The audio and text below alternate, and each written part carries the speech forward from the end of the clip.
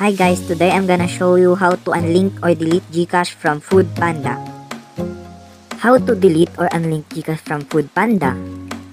The first step is open the Chrome. Then, click the three dots. After that, check the desktop site.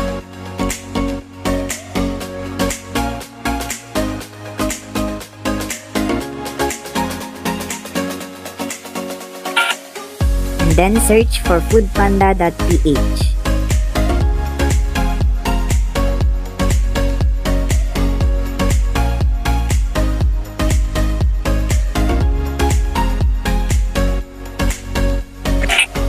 After searching, log in your Foodpanda account.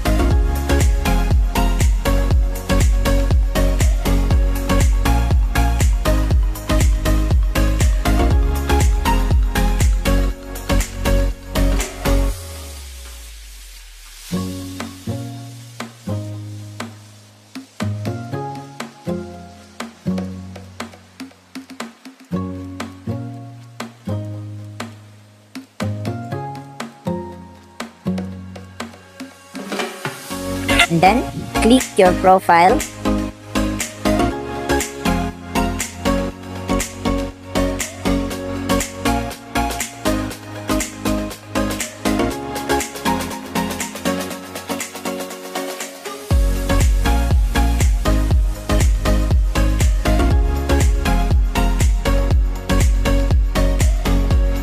And lastly, you can delete your Gcash from Foodpanda. Just press the delete button. and then you're done. Thank you for watching.